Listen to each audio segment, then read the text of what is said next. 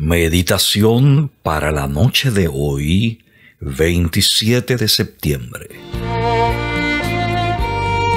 Mi amado metió su mano por la ventanilla y mi corazón se conmovió dentro de mí. Cantares 5.4.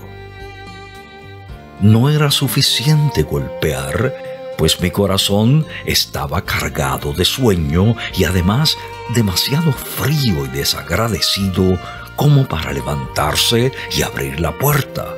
Pero el toque de su eficiente gracia hizo que mi alma se conmoviese. Ah, la paciencia demostrada por mi amado, quien a pesar de que le había negado la entrada, permaneció a la puerta mientras yo dormía en el lecho de la pereza. Ah, la grandeza de su paciencia al golpear una y otra vez rogándome que le abriera. ¿Cómo podía yo desairarlo?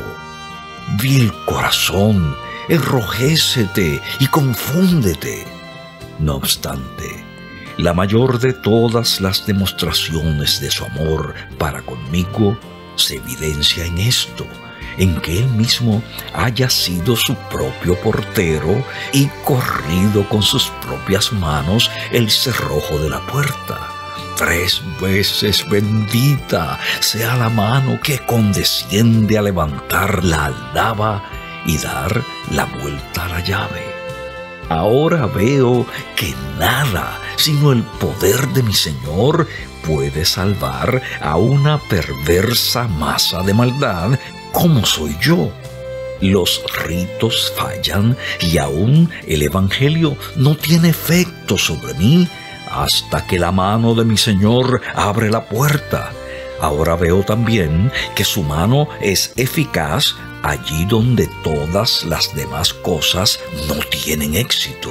Él puede abrir cuando nada más lo haría. Bendito sea su nombre. Aún ahora siento su bondadosa presencia. Bien pueden mis entrañas conmoverse por él cuando pienso en todo lo que sufrió por mi causa y en mi mezquina respuesta. Yo he permitido que mis pensamientos se extraviaran. Le he suscitado rivalidades. Oh, el más bello y querido de los amados, te he tratado como trata a su marido una esposa infiel. Ah, mis crueles pecados, mi cruel egoísmo. ¿Qué puedo hacer? Las lágrimas son poco para demostrar mi arrepentimiento.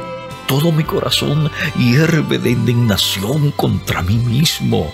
Infeliz de mí, que traté a mi Señor, mi todo en todo, mi grandioso gozo, como si fuera un extraño. Jesús, tú perdonas sin reservas, pero todo esto no es suficiente impide que vuelva a serte infiel. Enjuga estas lágrimas y después limpia mi corazón y átalo a ti mismo con siete cuerdas para que nunca más se extravíe.